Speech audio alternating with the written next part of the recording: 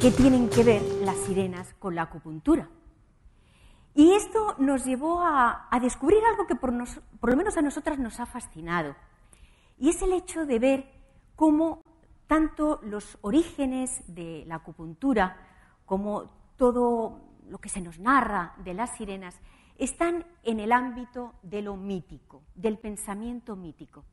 El pensamiento mítico aparece en la humanidad en la época de las culturas de tradición oral, es decir, previas a la escritura. Indudablemente son o corresponden a otros estados de conciencia del que habitualmente tenemos. Los mitos eh, han sido considerados hasta hace bien poco como meras historias o leyendas.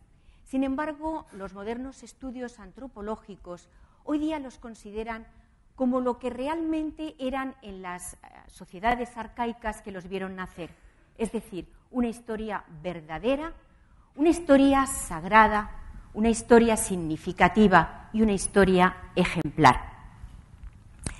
En definitiva, los mitos nos vienen a contar cómo lo sobrenatural interviene en el mundo y cómo el mundo es lo que es gracias a esa intervención.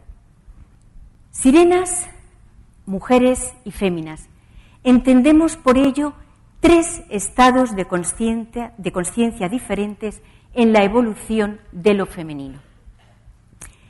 Las sirenas han aparecido en muchas culturas y curiosamente muy distantes estas culturas unas de otras.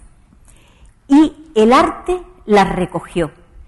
Y las recogió en vasijas, en grabados, en esculturas y, cómo no, en los puertos, como un símbolo para anunciar al marinero que se adentra en los océanos de los grandes misterios que aguardan porque las aguas de los océanos, no olvidemos, siguen siendo aún un gran misterio.